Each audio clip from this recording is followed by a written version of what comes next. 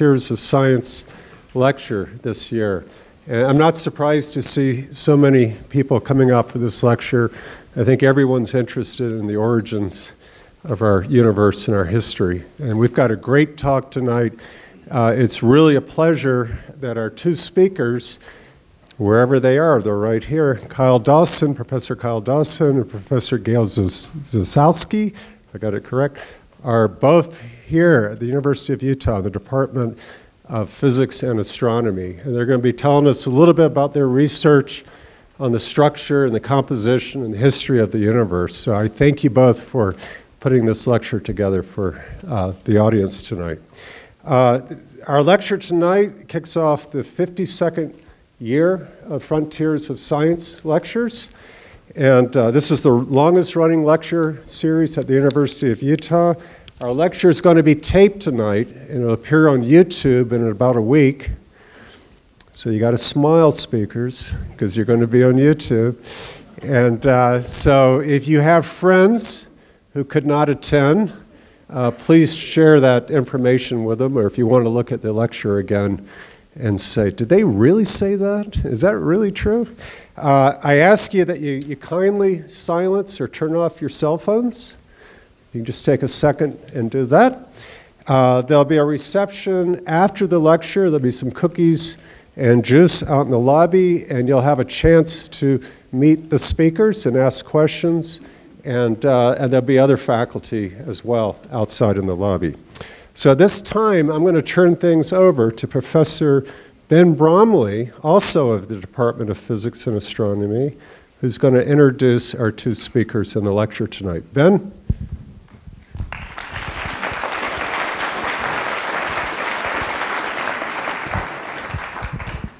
Thank you all very much.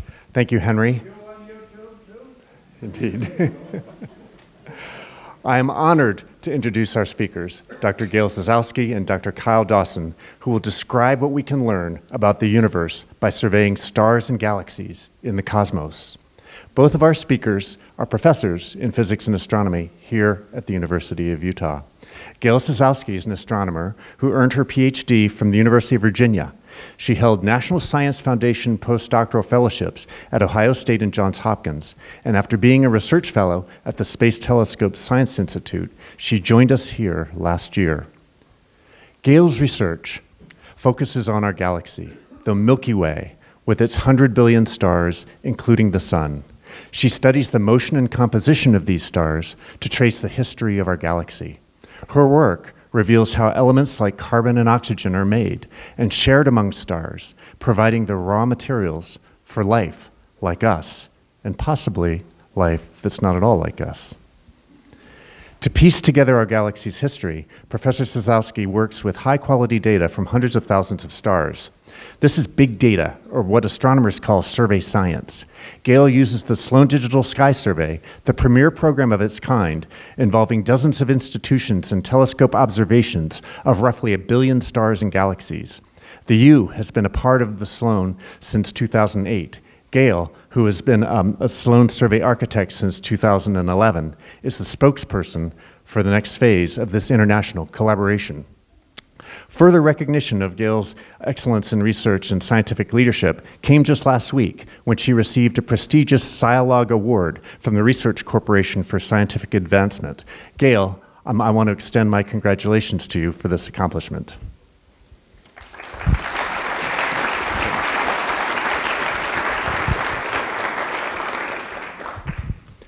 Kyle Dawson also does survey science.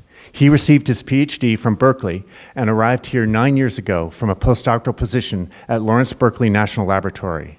Kyle has been playing leading key roles in several major survey science programs, including eBOSS, a main Sloan Digital Sky Survey effort, which he leads as the principal investigator. By mapping huge numbers of galaxies like the Milky Way that are spread across the universe, Kyle works to deduce how the universe as a whole is evolving. eBOSS is not only a cool name, it's cutting edge science. Ten years ago, research like this did not take place here in Utah. Today, thanks to Kyle and Gail's leadership, Utah is becoming a powerhouse in survey science. For example, here on our campus, just two buildings over there, The Digital Sky Survey, um, Sloan Digital Sky Survey data are managed and delivered to scientists all over the world. Now, Kyle was the first astronomer hired by the university, and Gail was uh, hired most recently. Thus, they sort of bracket our astronomy program's amazing nine year existence. And what they study brackets a wide range of length scales. Gail focuses on things that are really, really big, while Kyle studies things that are really, really, well, so big I can't even imagine. So, fortunately, I don't have to because we have Gail and Kyle here to give us their insight. So, please join me in welcoming Gail Zasowski and Kyle Dawson.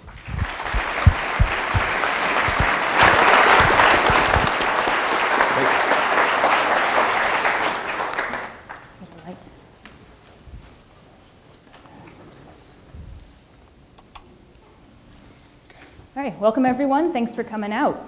Uh, so tonight we're going to be talking about astronomical data. Uh, what kinds of data astronomers actually use to explore the, the, um, the heavens, uh, how that data has changed over the centuries, how we actually use that data to get the answers that we're looking for, uh, and importantly, why we need so darn much of it. And we're going to start appropriately enough with the night sky. So this is the dark-ish sky that most of us see at night if we live in Salt Lake City or in any of the suburbs uh, nearby. The average human can see about 300 stars um, uh, in, in, under these kinds of conditions, fewer if you have more light pollution. But for most of human history, we haven't had to deal with light pollution or bright lights at night. So for most of human history, this is what the night sky has looked like. And nowadays, you can pretty much only see these kinds of conditions if you're out in the mountains somewhere, or out in the middle of the ocean, away from cities, away from highways, away from bright lights. Uh, under these conditions, the average human can see about 10,000 stars with the naked eye. Uh, about half of that, of course, about 5,000 at any one given time. Um, humans have been observing the night sky, using the observations we have of the night sky for all of recorded history, and presumably before then, um, doing things like knowing when to plant their crops and harvest their crops, tracking the changing of the seasons, predicting eclipses, and so on.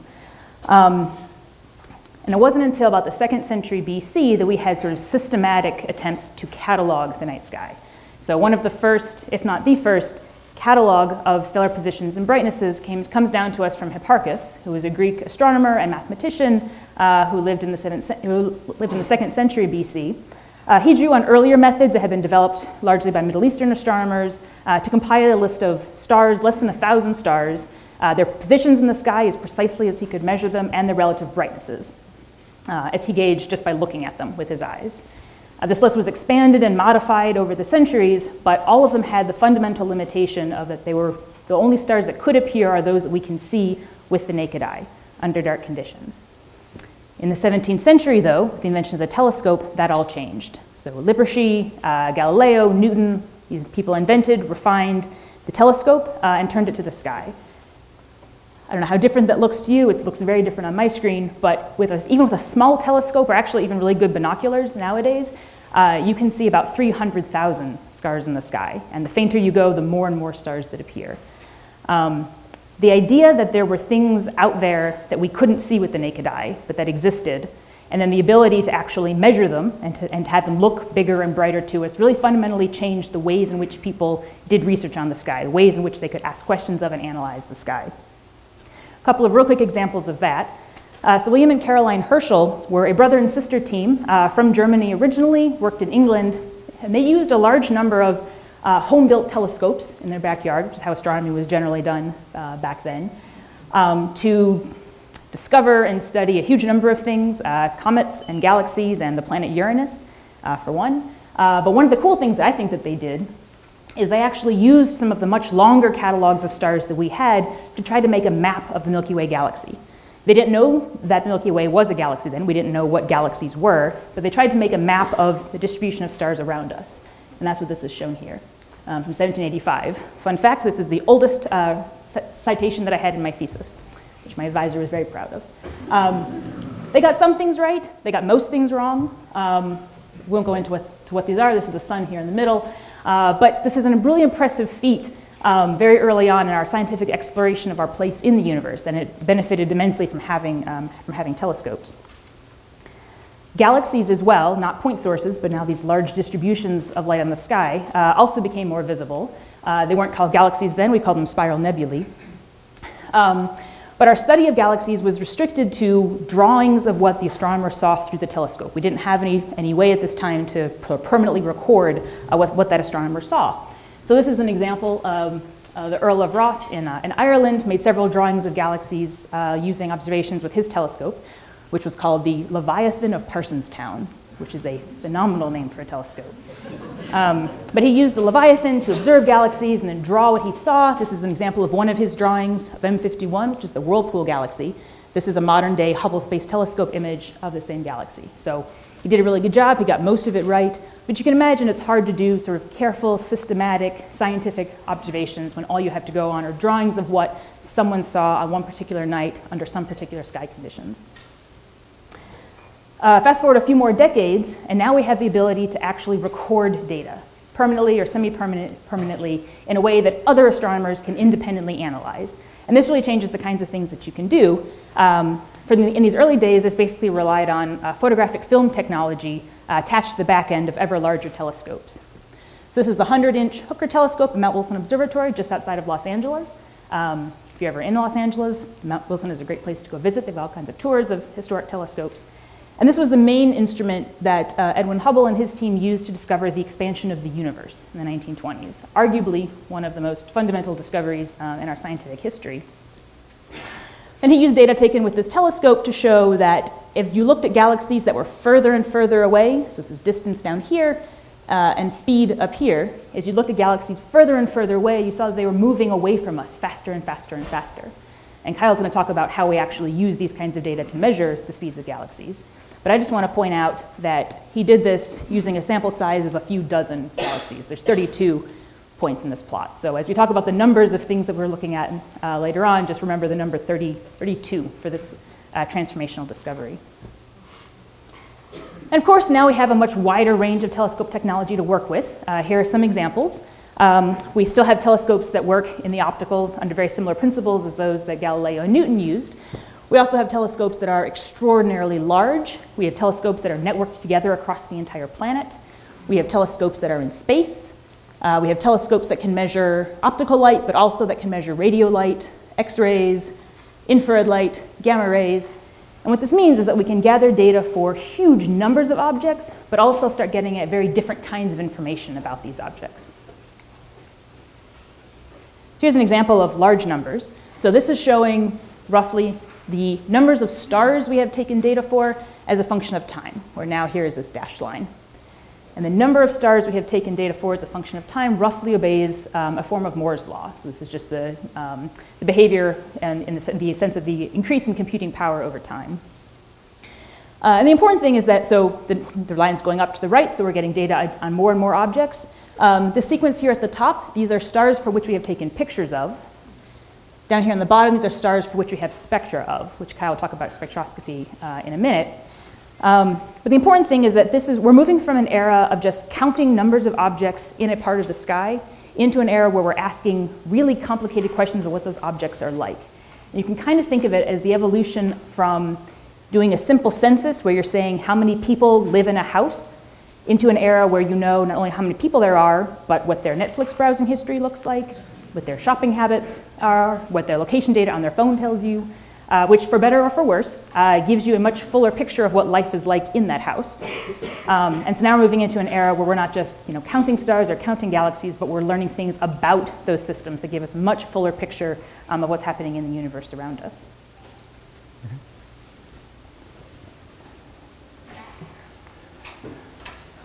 Okay, so as Gail introduced the, you know, the background, what you saw is a lot of the earlier observations started by observations of stars, things that are within the galaxy. So here it's good to see where, we, where those are with respect to all the scales that are out there. It also jives with the introduction Ben gave with its different scales that I observe relative to what Gail observes. So a really simple breakdown is to look at the physics across the entire universe, across three distinct fields. The first would be the cosmological scales, that's the field I work in. Here we see the cosmology. We'll show simulations of each of these in a second. But if you look at the typical unit we use, we would say a light year is a unit where that's the distance light travels in one year. I think many people are familiar with that. If I look at this structure, I see uh, clouds of objects, veins, voids, a very sophisticated structure, and the scale across here is roughly 1.2 billion light years across this image. So that's the extreme category of cosmology. As you step down to wanting to understand not just the entire cosmos, but the, how the galaxies form and what their environments are where galaxies form and the birth of galaxies, now you're talking about things that are in tens of millions of light years. Okay, so all of the universe, galaxy formation, and the next stage would be now towards those stars that we were seeing. This is a simulation we'll see shortly of uh, individual star formation. Now we're talking about molecular clouds that are on the order of light months across. So it gives you an idea of the range. Now, as you go from cosmology to galaxy to Milky Way scales, all of these are linked by common laws of gravity and electricity and magnetism. And what we do is we use computer simulations to try to understand the complex the complex physics at hand uh, because a lot of this can't be uh, modeled analytically with formulas and equations. Um, and when you run these computer simulations, what you find is that the processes are so complex that you really do need to have massive, massive amounts of data. So let's start by looking at a computer simulation on cosmological scales. And again, to set the stage, this is very similar to what I showed previously. This bar right here is 150 million light years across. So this whole box is something like 500 million light years. And we start from a, sorry, from a very early time in the universe, just a few hundred million years after the Big Bang. And what we see is the matter distribution, all presented in purple. And due to the laws of gravity, you start to see that original cloud-like structure form into the veins and filaments we saw on the previous slide.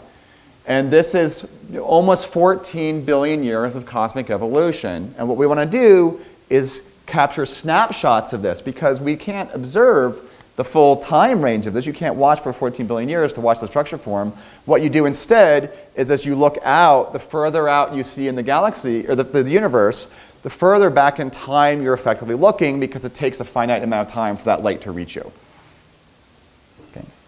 Now, if we look at the complexity of the structure, now we zoom out even further. Now we're talking about something that's about 5 billion light years across from here to here. If I look on this scale, everything kind of looks uniform and the same. But when I look at, when I zoom in, sorry, it's getting used to the screen, the mouse here.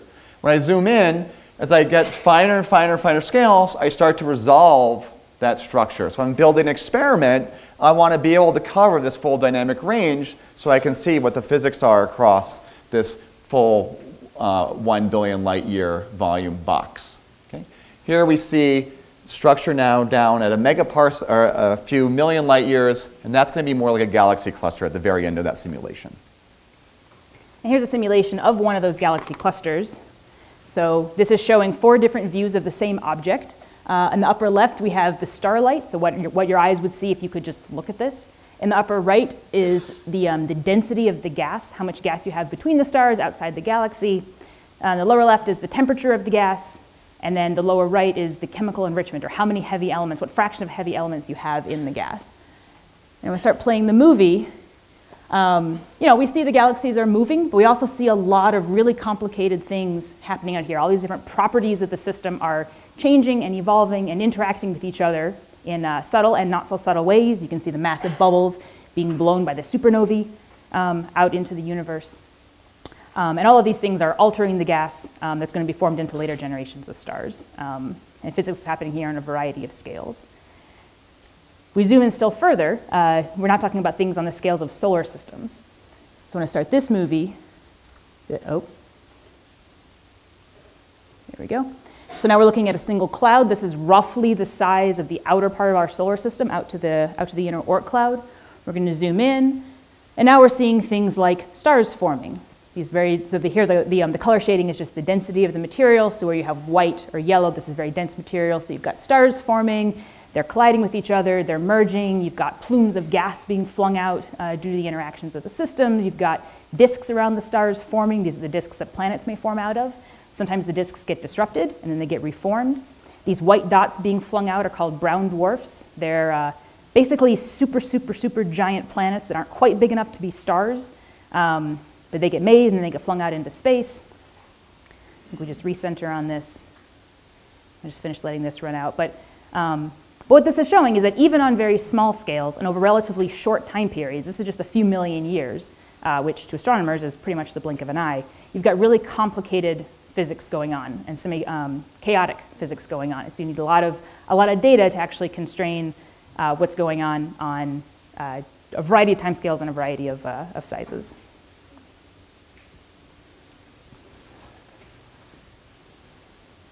Okay, so now that you've seen each of those th three regimes of numerical simulation, let's just revisit the slide I showed to introduce this. Again, we have where we're talking about billions of light years. The physics we're typically exploring is like the laws of gravity and the expansion and history of the universe. What's the, what are the global properties of the universe? And then on the smallest scales, it's how, uh, what are the physics that lead to star formation, a lot of gas physics, and feedback from other stars, so a lot of very complex processes. Now, what we see between the two extremes is a factor of 10 billion in dynamic range. So it's a factor 10 billion bigger on the left than it is on the right. Um, we can't do everything at once in the computer simulations. As we saw, the largest cosmology was just gravity. The smallest scale had a lot of gas physics at play. At the same time, not only can you not you know, do everything in computer simulations, it's also limited by experimental design when you actually go out and collect data. It's very hard to do all these things, you know, to study all these physics in one observation. So what we really want in each of these regimes is to collect massive amounts of data to really probe the full range of possibilities for these different, uh, these the different formation scenarios. So can we actually build an experiment that can do all these at once? Now, back in the 90s, there was a desire to build experiments to grow the size of samples, but it really did not try to do all these at once. It really focused primarily on galaxies and look as a probe of cosmology, looking at the larger scales. So if you look at the earliest programs in the 70s, 80s, up to 1994, there was two real leads in the surveys out there, and they basically took like 20 years between the two of them to collect about 50,000 objects. So what they did is they used spectroscopy, which I'll explain shortly, to measure the distances to galaxies and construct a three-dimensional map. If I look at a pure, just a snapshot of the sky with a camera, like you would with your digital camera on a telescope, what you see is a two-dimensional image of where things are on the sky in their x and y position. But that's not enough to resolve a three-dimensional map. Spectroscopy gives you that third coordinate from which you can measure a three-dimensional map. You take this map at different snapshots, and you map it on those computer simulations I showed before, and you can really see the way in which the voids and the filaments and the, the clusters form over all of cosmic time. And that's what these first projects were doing. And what you see, even when you only have a thousand galaxies from the CFA survey in 1985, you can start seeing very similar structure in the distribution of galaxies to what we saw in those numerical simulations. You see a big void, you see filaments, you see a big cluster, this is exactly as predicted, but it's not yet on large enough scales to, to really probe cosmology. So when we saw these, it demanded more and more observations, more and more data. We wanted to answer questions like how universal is the structure we see here? Is this just one snapshot of one particular region of the universe? What happens when I go further and further out and, and, and, and sample the full extent of the universe? And likely, how, long, how far out do you need to go before things become really uniform and smooth? They start looking the same everywhere. These are fundamental cosmology questions. As you also notice, this is now diverging from the presentation from what we showed earlier, where we're only talking about galaxies and cosmology. What about all the stars? There's 100 billion stars in our galaxy. And the early surveys mentioned here didn't actually make any attempt to explore the stars. So the first survey that really wanted to scale up massively from the previous work is the Sloan Digital Sky Survey. It was proposed in, like, in roughly 1990, and it started collecting data in the year 2000. And if you look at the original motivation, the, the proposal is still online for this project. It's really simple. It just says, we want to collect as much data as possible. We want to build a telescope to do that. That would never fly on any project today. You really have to go out of your way to characterize every, you have to justify every photon you count. And it's a lot of work. But back then, this, justify, this was sufficient to justify the experiment. And if you really look more precisely what they proposed, it was to take images of as much of the sky as possible, just like your digital camera taking snapshots of the sky, and to observe as many galaxies and quasars as possible. And there I mean by spectroscopy, which I'll come back to in a second.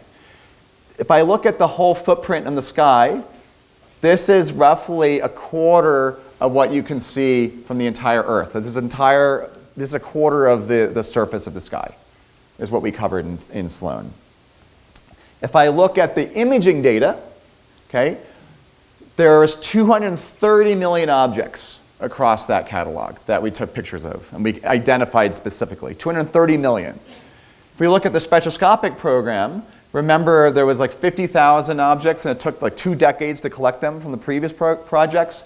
Now we have almost a million galaxies, we have a quarter million stars and 100,000 quasars, so well over a million objects. So scaling by factor of 20 over what was done in the two decades previously. It's a massive improvement in size and this project was completed in about five years. You can see the time scale here in the bottom corner, the years 2000 to 2005. So what enabled this was to really dedicate an entire facility to the survey itself. And this had actually never been done before. Everything else been done in a single night allocated here, a single night there, a telescope here, a telescope there. No one actually built a telescope and the instruments with the idea of just doing, just surveying everything. The telescope that they built is two and a half meters in diameter. It's located in New Mexico. It looks like this. It sits inside this box as a baffle for, for light. And when you open the petals, you can expose to the sky. So the mirror is sitting back here for this telescope.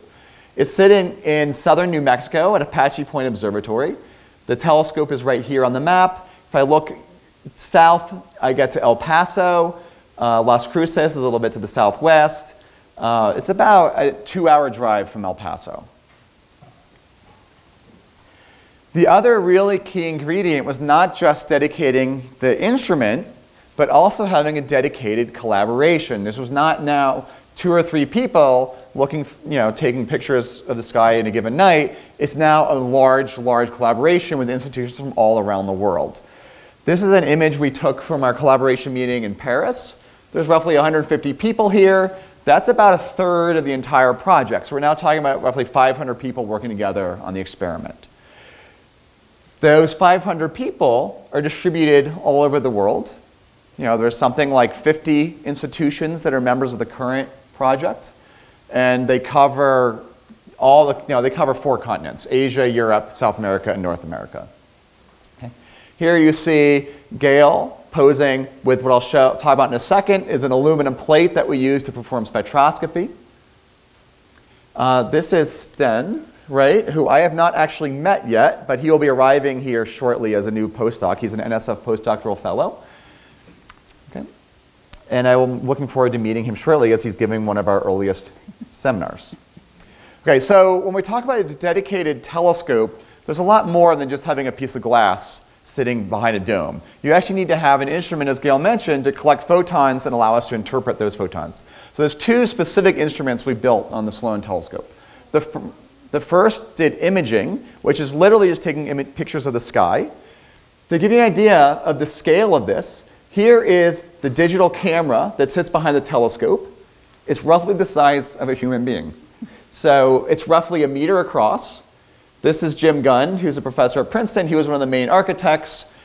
This takes images just as your digital camera would, except instead of just doing three filters, R, G, and B, it takes it in five filters, and you actually kind of see the color of reflected lights off of the filters.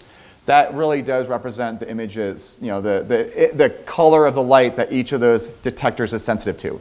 Now let's see in terms of scale, if you have a cell phone, it has maybe a few million pixels in it for your camera your cell phone camera. If you get a really nice digital camera uh, off, for, that's a, a, a, a, SLR camera, it's maybe 20 million pixels Okay, that's about the high-end camera you can buy right now.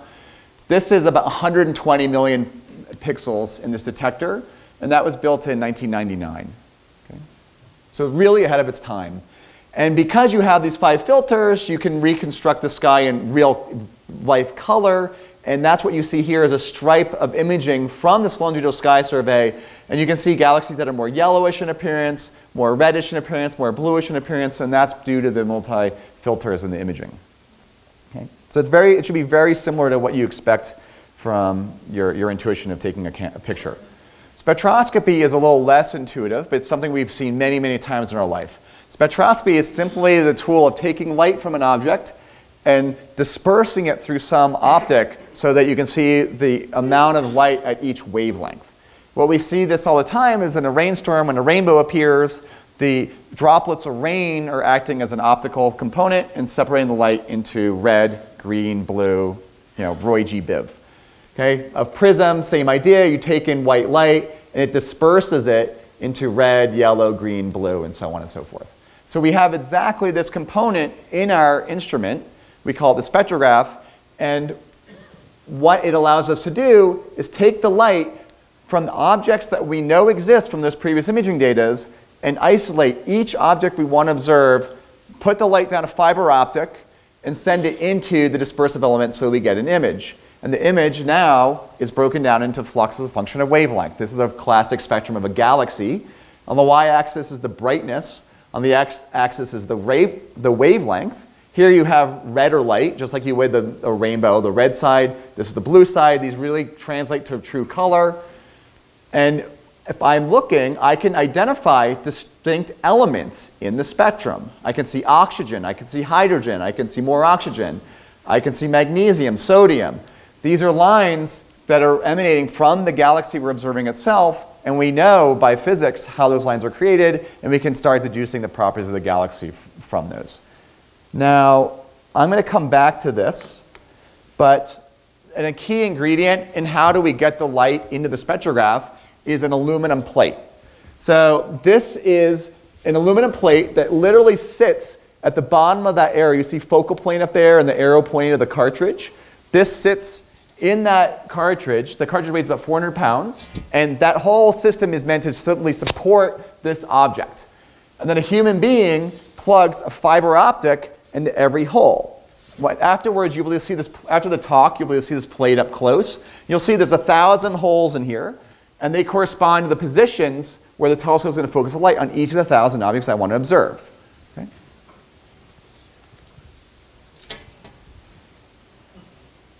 And for each of those thousand objects, I get a spectrum.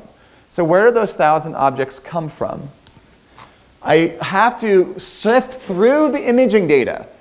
And based on how red or green or blue or yellow an object appears, and based on its morphology, I decide whether or not I want to observe it for a spectrum. There's 250 million objects in here. We could, select, we could observe spectroscopy about a couple million objects over 10 years. So we have to be very selective in which object we choose. These coordinates, bang, bang, bang, bang, bang, of all these objects really do correspond to the coordinates on this aluminum plate. It's exactly where the telescope will focus them. Here I have the objects we selected for my cosmology program. These are galaxies we wanted to observe to explore the expansion of the universe. And you can see we're really only selecting a very small sample of the available objects. Okay. Once we have our sample of objects, we have to produce one aluminum plate for every thousand objects. And we're observing 2 million. So we've drilled thousands of these aluminum plates. For every plate, a human being has to go in and put a fiber optic into every hole in every plate.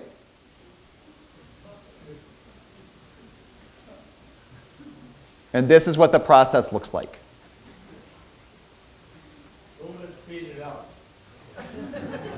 so it's not sped up as much as you might think.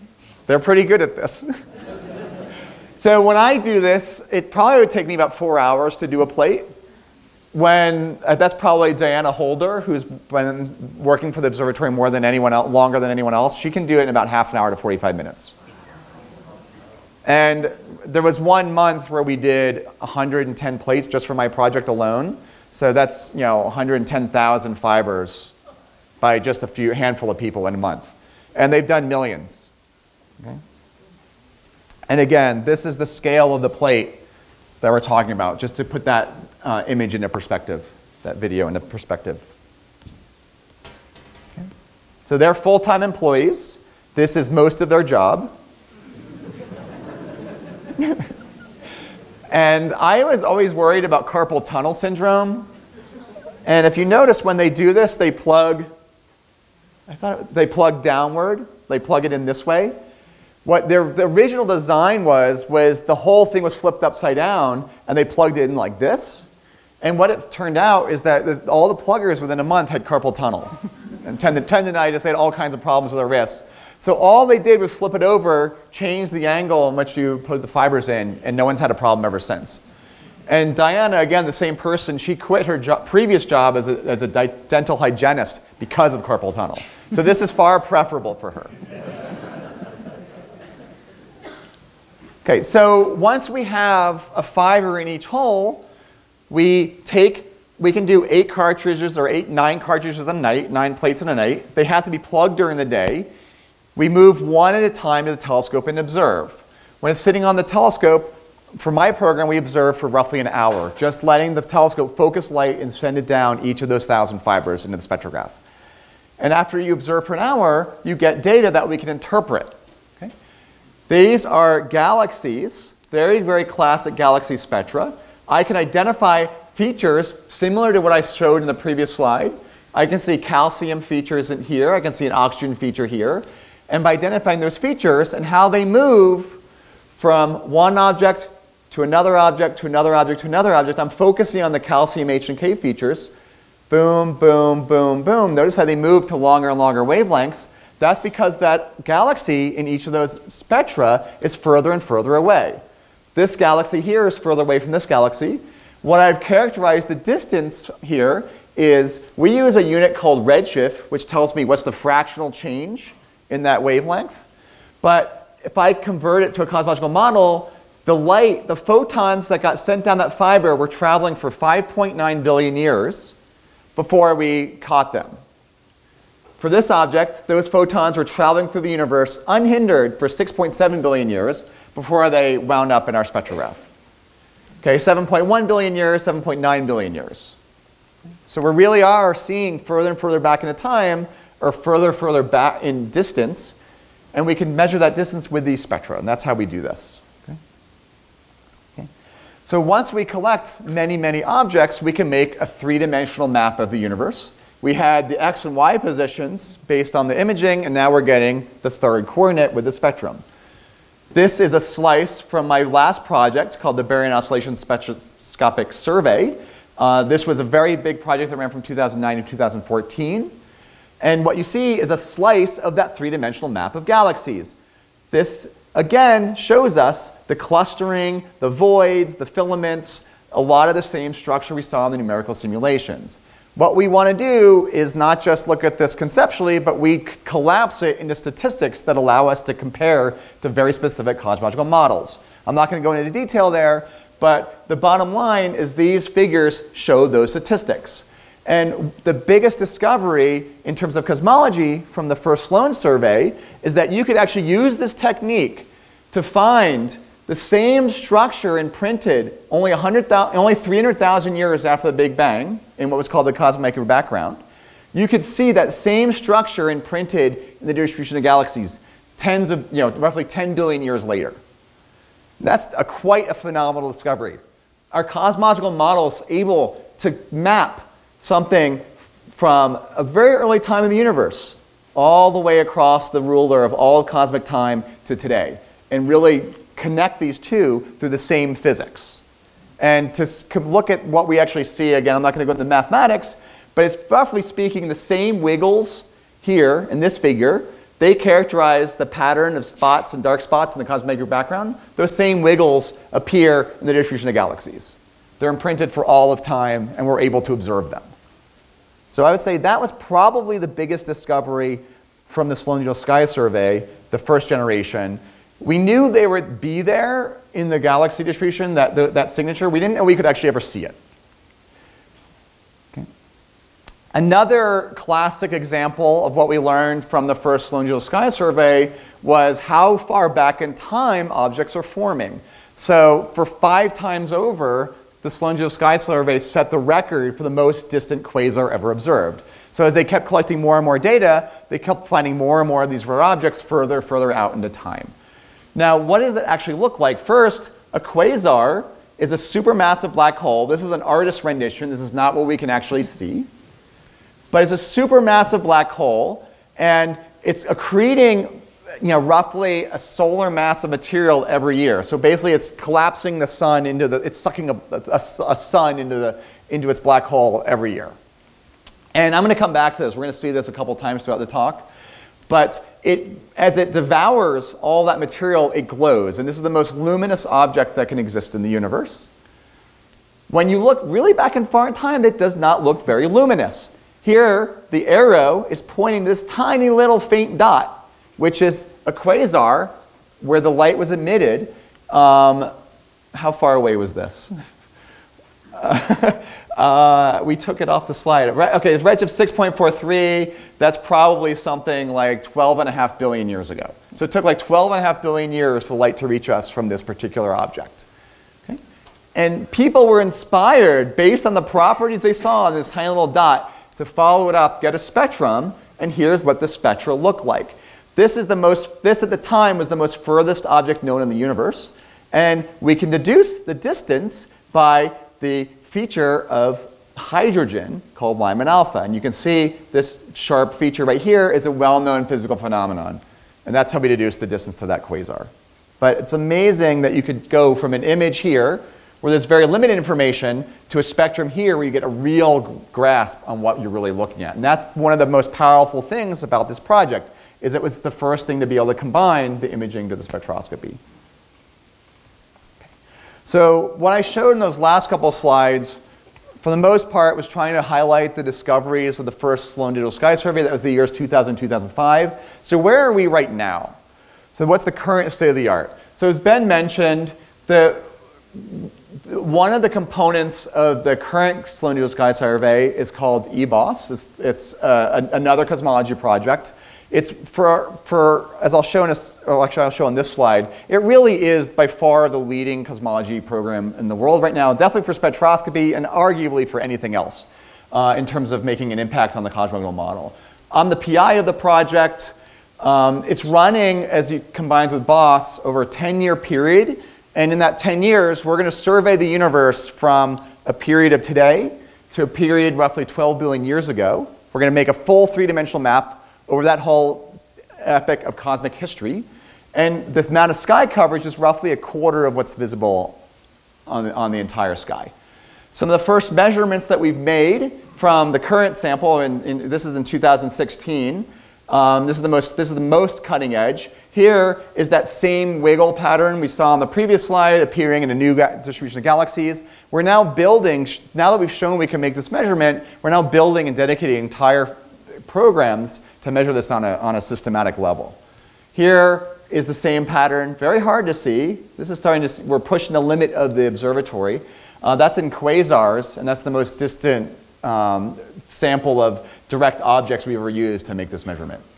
Now to put it into perspective in terms of other cosmology measurements, here we have all the data over cosmic time that we've collected in the red and the green. This is our program. Again, this covers the time from today here on the left side of the axis to a time roughly 12 billion years ago on the right-hand side. And if you look at our data in the red and the green, it really dominates all the information we have about this range of cosmic history. The blue is everyone else. So you can really see a, a, huge contrast. And again, this is because we're really the only dedicated program out there that's capable of doing this at this scale. So while BOSS and eBOSS were built specifically to measure the properties of galaxy clustering and, and cosmology over as much cosmic history as possible, a lot of other stuff comes out of, a lot of other information comes out of the data. I would say the most surprising thing we've discovered in this program is what's called a changing look quasar. So I'm coming back to this whole idea of a quasar again. Remember, the quasar is something, it's an object of like you know, 100 billion solar masses, it's a black hole, and it's devouring its surroundings at something like a solar mass per year. It's a massive amount of energy, it's a massive amount of mass, it's a massive amount of luminosity, all in one shot. And what we've seen, when now that we have a long baseline between SDSS and eBOSS, we've observed quasars back 10, 15 years ago. We've seen all the classic properties. We've seen broad emission lines. We've seen very classic quasar spectra. And we've seen them completely turn off. That massive system of accretion we've seen completely turn off and leave nothing behind. So here's some, the same object observed 10 years later, and the quasar is gone, and what you see is the galaxy only that was hosting that quasar. So we know this is not a, an artifact because we can actually see the same galaxy hidden underneath all that light, but all the quasar emission is gone. So this is, I would say, the biggest discovery from the newest sample, and that's going to lead into the next generation of Sloan as well. It's going to be part of the motivation for Sloan 5. So Okay, so uh, we're going to zoom in a little bit, closer to home. Uh, so Kyle uses quasars and galaxies to study the universe very, very far away. Uh, I look at things a little bit more in our backyard. So I, I'm interested in things in the Milky Way galaxy and in nearby galaxies, the stars, the gas, and the dust. Uh, questions like when and where did the stars form that we can see in the night sky? Uh, where and when did the heavy elements form and how did they get into the stars? Uh, when we look out in the Milky Way, which this is a picture um, from the, um, the recent data re released from the Gaia satellite, we see a lot of really complicated structure. Um, you know, how do the, so when we look out in the galaxy, we see a lot of stars that are mixed together. We see a lot of complicated relationships and correlations between different properties of the stars. Um, you know, how are those uh, reflected in the light coming from other galaxies where we can't resolve that kind of complexity? And then how can we use the fact that we can see the Milky Way so well to help us interpret light coming from those other galaxies? Um, the Milky Way is the only large galaxy that we can actually measure large numbers of individual stars in. Um, for various reasons we don't have time to get into right now, it's only been recently that we could actually do that. We had the technology to actually make those measurements. Um, but we do have it now, and Sloan is doing it now, SDSS is doing it now, uh, and that's the main project that I work on. It's called, it's called Apogee. And one of the hottest questions that people are asking now is where do the elements in the periodic table come from? So hopefully people are familiar with this from high school chemistry. Uh, anyone's having a panic attack overseeing this from high school chemistry. Um, the vast majority of the, uh, so uh, we know that all of the hydrogen and the helium in the universe largely was made during the Big Bang. Very early on, has kind of stuck around for the last 13.8 billion years since then. And we know in broad brush, and we knew in broad brush uh, up to several years ago, that most of the other elements in the periodic table were made in stars of some form or flavor of another. Um, you know, Carl Sagan said that we are, we are made of star stuff, and this is what he means, is that all of the atoms in our bodies uh, that are not hydrogen and helium, you know, all of the oxygen atoms and all of the water molecules in our body were made in a star billions of years ago, not the sun. Um, and so understanding how these elements were formed, where they were formed, uh, tells us a lot uh, about where life in the galaxy may have arisen, what kinds of planets can form around different kinds of stars, and so on. It's made a little complicated by the fact that most of the universe turns out to be hydrogen and helium. So the two of those alone make up about 98% of the elemental matter in the universe uh, which leaves only 2% for everything else. But uh, that 2% is where most of the interesting stuff happens. So all of the chemistry and all the physical processes that require things that have you know, more than two protons uh, are in this purple box down here at the bottom. Um, and this governs everything from how galaxies can evolve to how human beings can live out our lives, if human beings can live out our lives. Because it turns out that human beings actually have a very different ratio of these heavy elements um, than the universe does as a whole. So we have a lot more carbon, nitrogen, uh, and oxygen than some random chunk um, of, uh, of dark space. So, so being able to trace down the origins of these elements um, uh, is, is, is really important for questions of life and for, for the chemistry of the universe as a whole. And stars provide some of the best, best tracers of this chemical history. So Kyle was showing some spectra of galaxies earlier. Uh, these are spectra of light added up from millions or hundreds of millions or billions of stars all summed up together. Here, these are spectra now of individual stars, where the color on top shows the features, the little bumps and wiggles that are due to some of the most common elements in the human body. So green here are carbon, are wiggles due to carbon in the star. Orange are wiggles due to uh, hydrogen of a certain temperature. Um, purple here is nitrogen. And so I work on, on projects that use the spectra of these individual stars to measure what is the heavy element ratios in these stars. And what this tells us is what the heavy elements were like when the star was formed, sometime between now and 13.8 billion years ago, uh, at the spot in the galaxy where the star formed. And then how can we use this information to trace back what the chemical history is. And so using, and so once, oh yeah, I wanted to say, point out, and so underneath this, these spectra, uh, so the picture here, this is an artist's drawing of a galaxy kind of like the Milky Way, roughly to scale, and the blue points show the distribution of stars that we can make these measurements in. So it's not a complete map, but we're able to actually measure, you know, what is the nitrogen to oxygen to sulfur ratios for stars. So the sun is here, for, and we can actually make these measurements for stars that are most of the way across the galaxy. And once we can do that, once we can map out where the elements lie, we can see what kinds of stars have certain kinds of ratios in them, how much variation do you have in these ratios at different parts in the galaxy, uh, what else is happening nearby that could have been polluting the stars. Then we can start piecing together how the elements are made and really nailing down the details of that broad brush picture, which we can show by coloring in the periodic table. And I think this is absolutely gorgeous. This is the culmination of literally decades of work um, by tons of people. This appeared in uh, uh, American Scientist uh, earlier this month um, by someone, by uh, one of my collaborators at Ohio State. Um, but basically it shows a periodic table where the color now of each element indicates the fraction of that element that we think is made with different physical mechanisms. So certain elements form together, so oxygen, sodium, magnesium, we think that these are formed almost entirely in exploding massive stars in supernovae. Uh, carbon and nitrogen, here in yellow, have large contributions from low mass stars like the sun. Okay, and so putting all these together, we can get a picture of where the elements in us came from, where the elements in planets came from, and are distributed throughout the galaxy. Of course, the other piece of the puzzle is the ages of the stars, or how old uh, the stars are. And this is a tricky problem.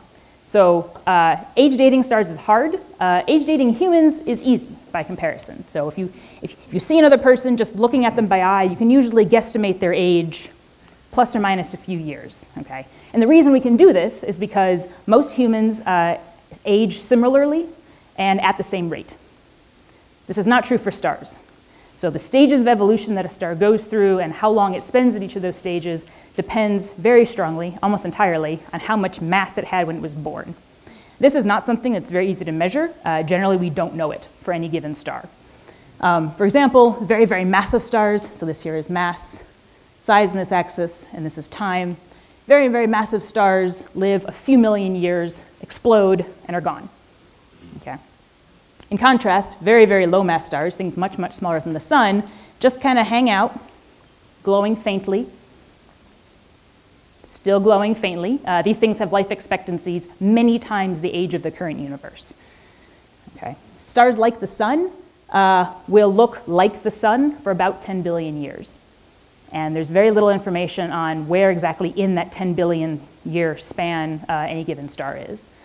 Um, so it's tricky to tell how old stars are, um, and I won't, I'm not going to show any, any, uh, any plots, but uh, the point is that when you have massive amounts of data, you can actually, massive amounts of data, critically, taken with the same instrument and processed the same way. So you're getting rid of all the changes and differences in systematics that are due to different software pipelines.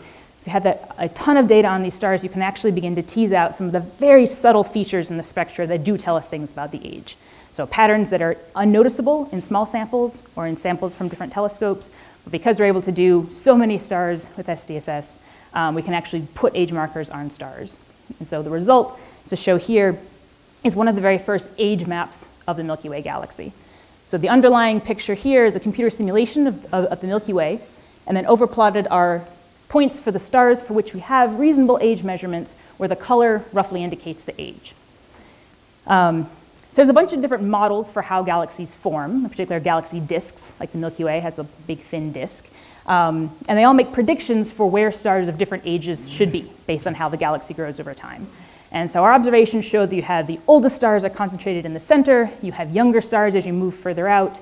And so this just this picture alone basically rules out any galaxy formation model that doesn't start with the Milky Way, the, with the, the infant Milky Way as a very small blob of stars, eight or 10 billion years ago, that gradually grows by adding stars on uh, to the outside of its disk and gets bigger and bigger and bigger. And we call this inside out uh, galaxy formation. So this is one of the coolest results that's come out.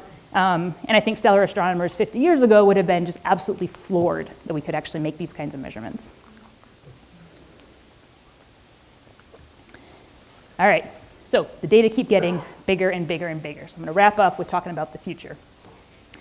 Uh, so Ben mentioned I'm the spokesperson for SDSS 5, the Sloan Digital Survey 5. Uh, this is the next generation of SDSS, uh, and it's going to be an entirely new beast.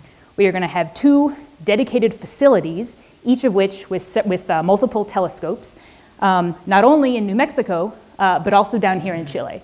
And so this lets us do things over the entire sky, the entire Milky Way galaxy, um, and the entire um, uh, universe beyond it. We're going to be taking new spectra of hundreds of thousands of supermassive black holes uh, and galaxy clusters, uh, and this includes several of those changing look quasars um, that, uh, that Kyle was talking about, which are bizarre but super interesting um, for cosmology. We're going to be mapping regions of star formation uh, throughout the entire Milky Way galaxy and through several nearby galaxies. Uh, this relies on the fact that newborn stars light up the gas around them like a spotlight. Um, and so uh, remember the simulation that I showed earlier of the star forming and the disks around it and the brown dwarfs being flung off in all directions? This program is actually going to go, is going to go through and look at that uh, in real life, um, in real time. Not in real time, in real life. It's not that long. Um, the project that I'm most excited about, because stars, uh, is we're actually going to be taking spectra of 5 million stars in the Milky Way galaxy. There's still a tiny number of stars in the galaxy, um, but the increase, but this is, a this is roughly a 10 time increase over what we have now. Um, and I'll show you why that's important. So Kyle mentioned earlier that in order to take spectra of objects, you have to sort of subsample from the things that you could take spectra of. So you have the image of galaxies, you pick out which small fraction of galaxies you want to look at, we have to do the same with stars in the Milky Way. So this is a gorgeous picture of um, the Milky Way taken over uh, Gran Escalante um, down, in, uh, down in, in the southern part of the state. And I'm going to overlay the positions of some of the stars that we have observed um, in my project. So the big circles here are the footprint of these big plates that Kyle was showing before. Um, these are big, actually. Each, each plate, if you were to hold it up, covers about six full moons across the sky. Right? So these are actually quite large. Um, so each big circle is a plate. The white dots inside each circle are the stars that we looked at in that patch of sky. Okay. Um, but there are thousands more stars in each circle that we didn't get a chance to look at. And that's not saying anything about all of the stars that are between the circles or the stars out here. Um, so why does this matter? Why is, why is this important? Well, let's say that we had two different models for what the Milky Way uh, looks like, two different distributions of properties, say chemical abundance, that, that was plausible. Okay, I'm going to use two famous American paintings here to represent these models. If we sample them uh, at roughly the same density that we have in our, in our star sample right now, these are the patterns that we see. Can anyone identify these two paintings? Hear mutterings, no one's bold enough to say it super loudly. All right. Um, we can see that they're different, but we may not have a good handle on what's actually happening. However, if we now sample it at the density that Sloan 5 is going to be sampling the galaxy, this is what we can see. Okay. So with the coarser sampling, we could tell they were different. Um, if the Milky Way looks like the Rothko, then maybe the coarser sampling is okay. We can see sort of the underlying pattern. There's not a lot going on in certain broad brush that we're going to miss. However, everything that we are learning over the last several decades has pointed to the fact that the Milky Way is much more uh, like the, um, the Basquiat. Um, its structure all the way down. And so when you're, when you're doing the coarse sampling, you see that there's a lot of complexity, but there's a lot of substructure, a lot of patterns that you're just simply not going to be able to map when you're not looking at as many stars as you, as you possibly can. So this is why we really need to, uh, to push the envelope, to use, um, to take full advantage of all the new technology that we can, to make the sample sizes as large as we possibly can, um, to start exploring all of those you know, 20 new questions that spring up every time you answer one question. Um, a lot of the mysteries that we're addressing now couldn't even have been formulated as questions 100 years ago. And I think that's going to be equally true in 100 years. And so the reason that we're making these massive data sets uh, is simply to try to build up the toolkits um, so that when we are able to ask those questions, we have, um, we have the tools at hand. So thank you.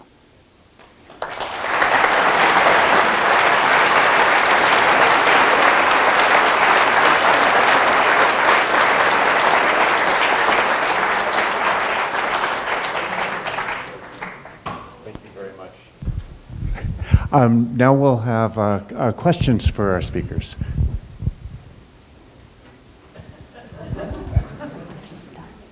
Please.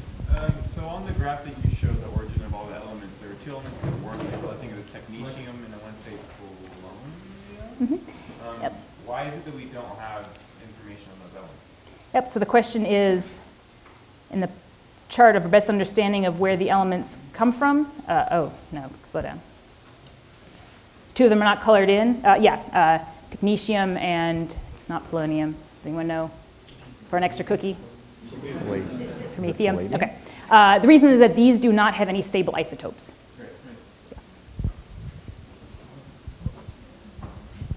What is the other one? Promethium? Yes. Palladium? Palladium. I don't know. Those So, complicated elements. Uh, The elements, heavy elements that are formed in massive stars, massive stars explode, they get dispersed and reform in other objects.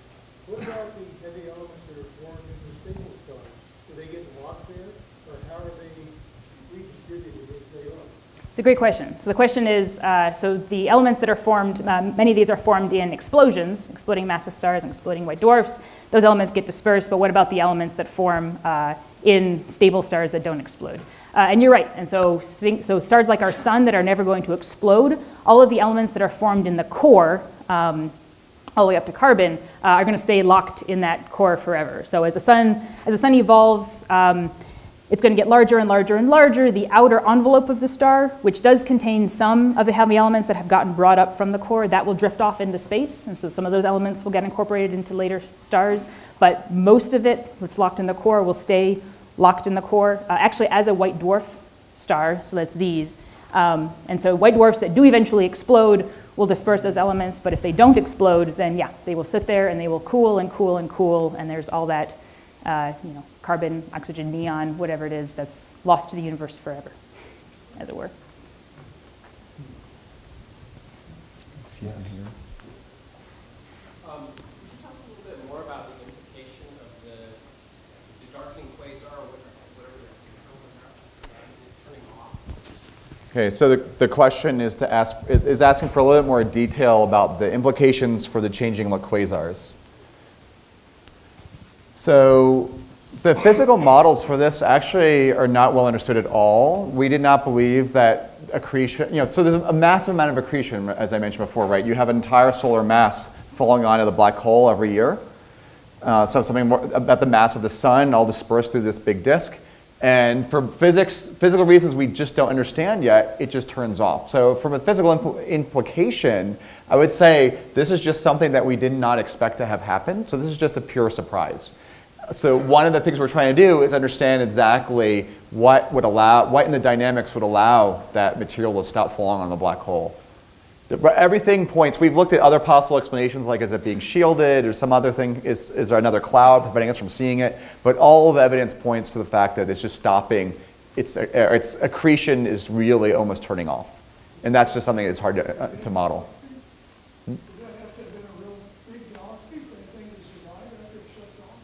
Um, the galaxy is probably something like 11, 10 to 11 times the size, mass of the sun. Yeah, it's something, it could be like a Milky Way galaxy. Yeah, this, and um, the black hole at the center of the galaxy is probably, you know, 100 million solar masses, something like that. Uh, the black hole is tiny compared to the, the galaxy, actually. Uh, I mean, even when we're talking about such a massive black hole, the galaxy is even that much bigger. Ben, there's, there's one down here. You guys are dealing with concepts that I have a little trouble with. Just Us one too. of those is that, as I understand it, at the time of the Big Bang, just 14 billion years ago, all the matter in the universe was compressed into a speck smaller than the nucleus of an atom. Is that how it was? So, so from a cosmology perspective, we typically don't like to talk about the size of the universe. We just typically talk, like to talk about the spacing between different points. So that space in between points is basically infinitely small. And then something happened, the Big Bang started. I, the way I look at it is the Big Bang happened, we don't know why. There was a period of inflation that ran from like 10 to the minus 34 to 10 to the minus 32 seconds. So just a tiny little sliver after the Big Bang. And that is really what set the, the, the physics of the universe in motion. So the way I really look at it is the initial conditions were set a little bit after the Big Bang, and that started the, the ball rolling. But I don't know why the Big Bang happened. Um, but we really don't characterize, we never try to characterize things in terms of the overall size of the universe. We always just talk about if an object is separated from another object by this much at this point in time, how does that separation between those two objects change as the universe grows?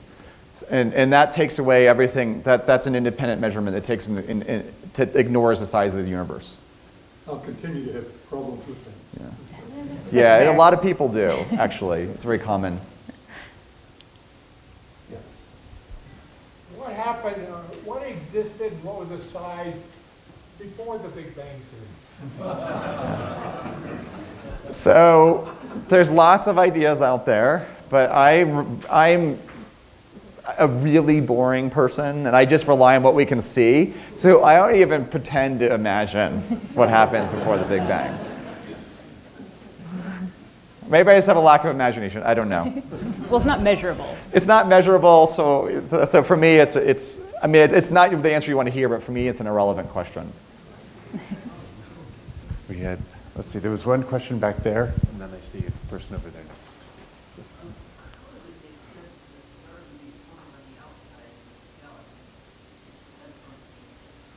Uh, yes, the question was um, how do stars form on the outside of the galaxy as opposed to the inside? So, so there's gas uh, well beyond what you can see in quote unquote the galaxy. If you remember the, the simulation early on that had, um, that had the, the galaxies that you could see in starlight, but then it also had the gas density and temperature. And so you have gas well beyond where you can see the stars forming. And it's, it's that outer gas that's, that's going to collapse over time and form stars uh, later on. So if you look at the Milky Way, so I mean, we have the picture. So this is the starlight that you see of the Milky Way. Um, this is actually a 3D picture, sort of. So this is the center of the galaxy, and as you look along here, you're looking. If you were standing here, you sort of wrap around behind your head. Um, but there's gas that extends well beyond the edge of, um, of even the Milky Way's disk, and that was even truer very early on uh, in the in the universe. So there's a lot of gas that we can't see with our eyes, and that's what's collapsing to form stars. You had a question over there. Uh, so in my intro astronomy class this year, we talked a lot about like Cepheid variables and supernova as a way to measure distances for starting galaxies. What little if anything does that happen like this kind of time? Okay, so I forgot to repeat the previous questions, but this question is, um, when you're measuring the cosmic distance scales, one of the fundamental purposes is trying to measure how the universe is expanding over all of time and then deducing what's the underlying mechanisms. And the question is, how does our technique that I talked about today compare to the use of supernova, which really are what led to the true, under, you know, supernova and Cepheid variables are really what led us to the real understanding of the cosmic expansion history. The Nobel Prize in 2011 went for the discovery of dark energy through supernova observations. And the idea of a supernova is that you kind of know how bright it is by, by its fundamental physics, and then you can deduce it's a, by its apparent brightness how far away it is. And We call it a standard candle. So how does that compare to what we're doing? The, first of all, the results I showed were exactly the same Hubble diagram that you would see for supernova. The supernova do better in the cosmic history of roughly today to something like six billion years ago. Uh, because you can collect a ton of them and we're limited in how much volume we can explore. So they're actually a better technique for that range of cosmic history than what we're doing.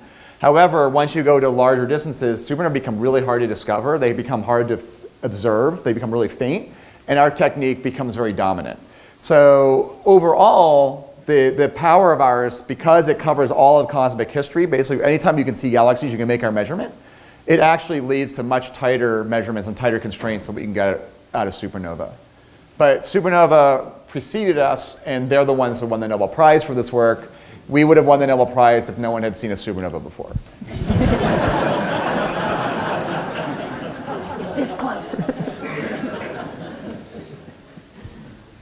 Uh, we depict the universe expanding and we're talking about the stuff we can see. Do we also presume that dark matter has expanded the same way? Okay, so the question is, as, this is a very subtle question. What we're observing is not matter. What we're observing is light from galaxies and quasars. And is that really mapping the same physics of dark matter and other things that we can't see. And this is actually one of the core questions we try to understand in our measurements. I did not go over into this detail at all.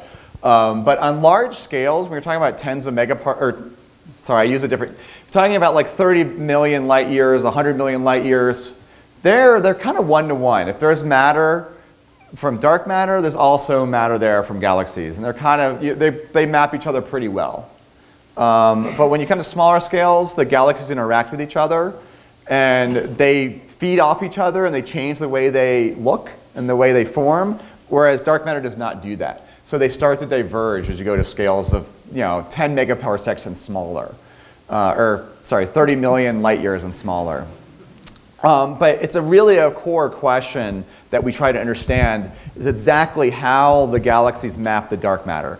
And what I showed is just the spectroscopic data from the light, but an independent technique that I did not talk about today is to probe the dark matter directly by looking at its gravitational interaction on background light. And this effect is called lensing. And you can actually measure the matter density of the whole universe by looking at how light from background sources gets distorted as it travels through all of cosmic history before it reaches us.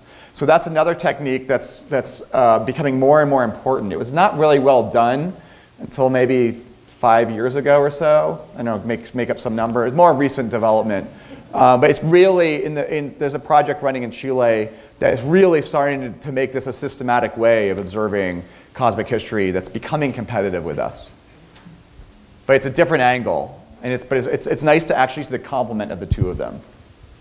We'll just take a couple more questions. You had one here? Yes, uh, back to that periodic table, how do we know there aren't more elements? Are those the only ones we can see that's So um, so that's an excellent question. I actually, so I'm, I'm, not a chemist. Actually, there's probably chemists in the audience who can address uh, what happens.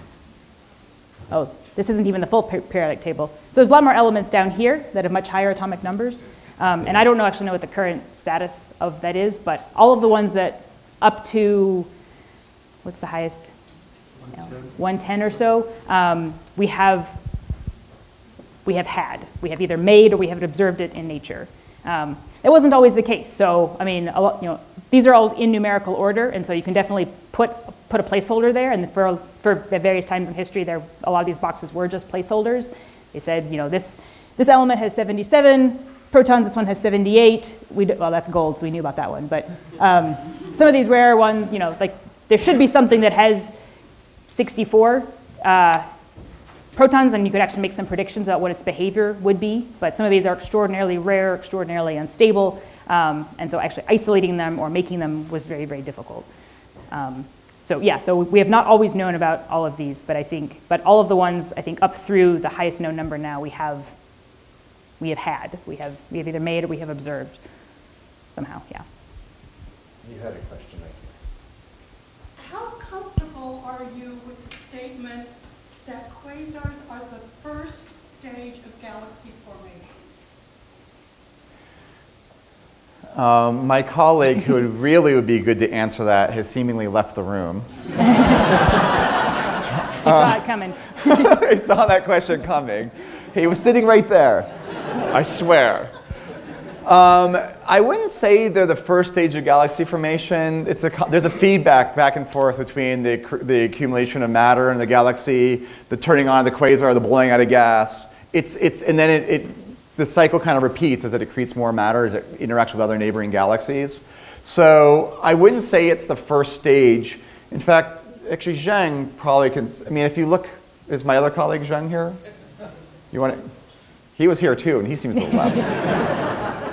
So if you look at the, if, okay, so if you look at the universe at very early times, like at a redshift of seven, it's really dominated by galaxies, and the light is coming from really high mass, really young stars.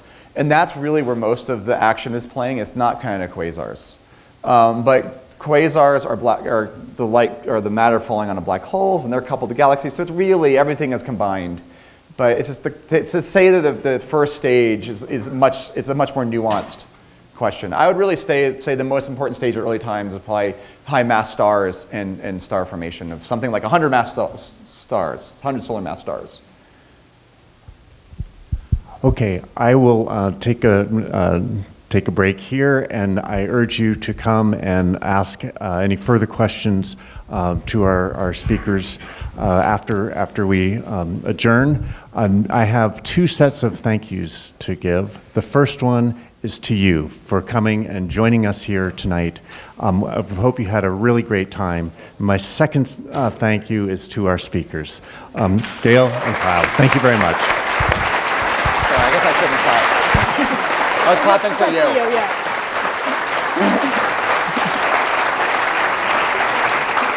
Thank you.